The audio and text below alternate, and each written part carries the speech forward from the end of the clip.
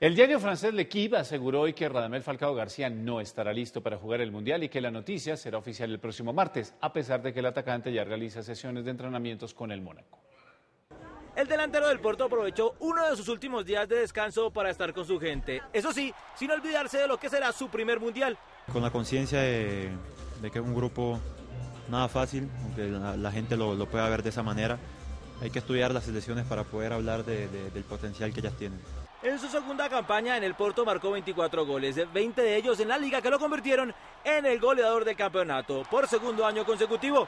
Una satisfacción y, no un conformismo por lo que por estos dos años consecutivos de ser goleador en Portugal. Pienso que, las oportunidades se van presentando y, eso no, es un peso, es una, alegría y espero disfrutarla llega en un gran momento para disputar su primera Copa del Mundo. Mental, futbolísticamente y físicamente me siento muy fuerte. Hoy el diario El Equipe de Francia aseguró que Falcao no estará en el Mundial. Golpe duro para Jackson. Es triste de parte del Tigre, parte de todo todos los compañeros que queremos y todo el país que se ilusiona con que el Tigre esté en el Mundial.